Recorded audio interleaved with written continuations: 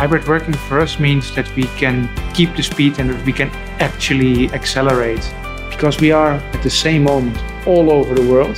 So people have to be able to connect whether they are in different time zones or with different locations. But now with Cisco's WebEx, there seems almost no limitation anymore.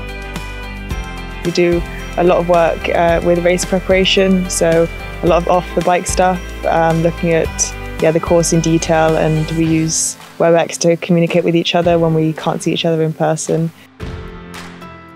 Because with Cisco's WebEx system in the team bus, we could connect straight from the office in the bus where the tactical meeting found place.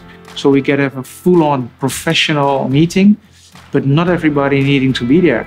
So we've become more productive and we had better meetings.